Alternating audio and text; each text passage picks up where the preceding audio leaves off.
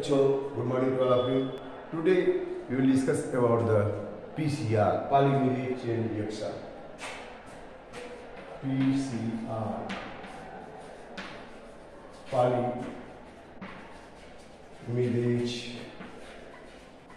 chain reaction. PCR, polymerase chain reaction. This is a process technique in which we can produce large number of gene clone, large number of copy of desired gene. अभी आपने पिछले lecture में देखा कि cloning vector से हम gene clone तैयार कर रहे हैं लेकिन यहाँ we can prepare large number of gene clone billions of copy of a desired gene by this PCR technique so PCR technique है कि PCR technique involves three steps that is the denaturation denaturation second है annealing annealing and third है extension तीन technique तीन process है three steps PCR involves three steps: denaturation, annealing and extension. इसमें, इस technique में हम the oligonucleotide sets of oligonucleotides we are going to use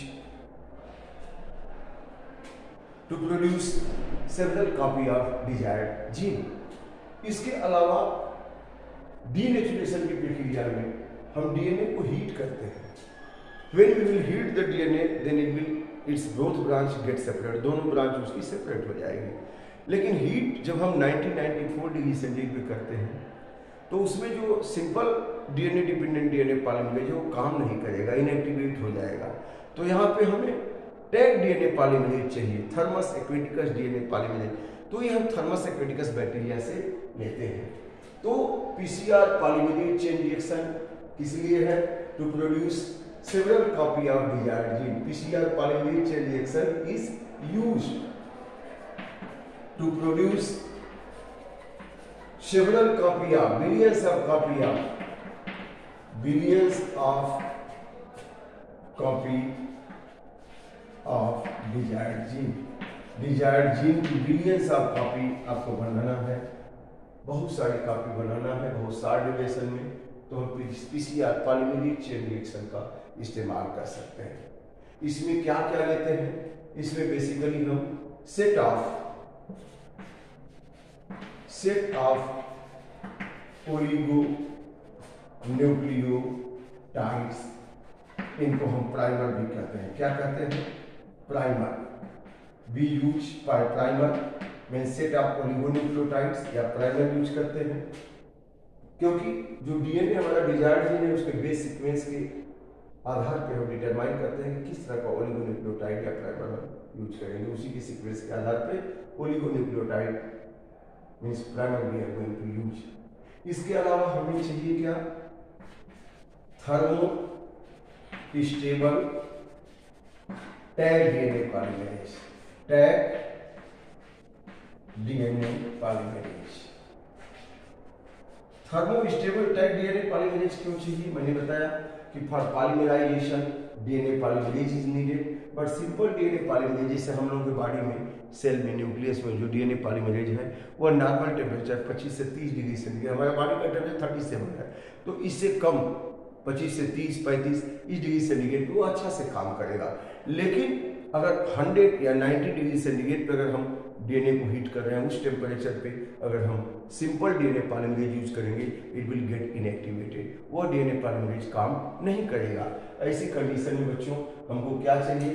thermo stable tag DNA polymerase ये thermo stable tag DNA polymerase कहाँ से आएगा? एक bacteria होता है, जिसका नाम है थर्मस एक्वेटिकस यह Thermus aquaticus bacteria can survive even at very high temperature ये बहुत ज़्यादा टेम्परेचर पे सर्वाइव कर लेता है मल्टीप्लाई कर लेता है। क्यों? यह कम से कम 90 to 100 degree centigrade temperature more than 90 degree centigrade temperature पे यह सर्वाइव कर लेता है। और और 90 टू 100 डिग्री सेंटीग्रेड पे अगर सर्वाइव कर लेता है, इसका मतलब इसके अंदर जो डीएनए डिपेंडेंट डीएनए पॉलीमरेज है it is active at that high temperature तो इससे हम डीएनए डिपेंडेंट डीएनए पॉलीमरेज को निकालते हैं। और इससे जब डीएनए डिपेंडेंट डीएनए पॉलीमरेज लेते हैं पॉलीमरेज एंजाइम लेते हैं तो this DNA polymerase enzyme is thermostable और वह जो है यहाँ पीसीआर रिएक्शन में यूज़ होता है। नॉर्मल डीएनए पॉलीमरेज यूज़ नहीं होगा। तो थर्मस एक्वेटिकस के नाम पे ही इसको क्या कहते हैं? टैग डीएनए पॉलीमरेज इससे जो डीएनए पॉलीमरेज देते हैं थर्मस एक्वेटिकस बैक्टीरिया से दिस इज़ बैक्टीरिया तो इसको हम कहते हैं बच्चों टैग डीएनए पूछा जा सकता है नीट में कि Thermus aquaticus DNA polymerase Taq DNA polymerase is extracted from his bacteria Thermus aquaticus bacteria से लेते हैं। अब हम प्रोसेस देखते हैं कि प्रोसेस कैसे होता है। How PCR process takes place तो मैंने अभी अभी बताया कि इस प्रोसेस में हमने टैग डीएनए पॉलीमरेज एंजाइम लिया। इसके अलावा हम ओलिगोन्यूक्लियोटाइड्स में प्राइमर लेते हैं, जिसका इस्तेमाल हम करते हैं। क्या बनाने में? कॉम्प्लीमेंट्री कॉपी ऑफ़ डीएनए तो सबसे पहले डीएनए आपने लिया, यहाँ पे ए डीएनए ले लिया, यहाँ। ए डीएनए आपने लिया फाइव टू थ्री डायरेक्शन और दूसरा यहाँ है थ्री टू फाइव डायरेक्शन यह डीएनए आपने ले लिया। अब इसको क्या करेंगे? पहले स्टेप में क्या करेंगे?